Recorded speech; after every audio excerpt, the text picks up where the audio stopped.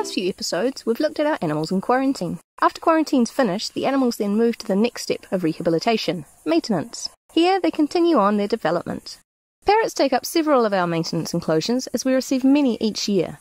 These are our babies from last year. They're now fully grown and have learnt how to fly and are almost ready for their next stage. We try and imitate the times they would feed in the wild, as well as provide them with their natural diet of wild berries.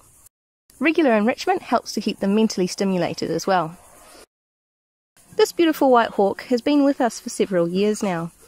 Sadly, most of the raptors that arrive here have been injured by people, and their chances of release are slim.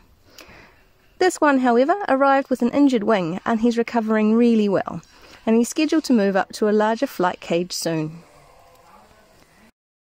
Join us next time where we'll be meeting some of our other animals in maintenance.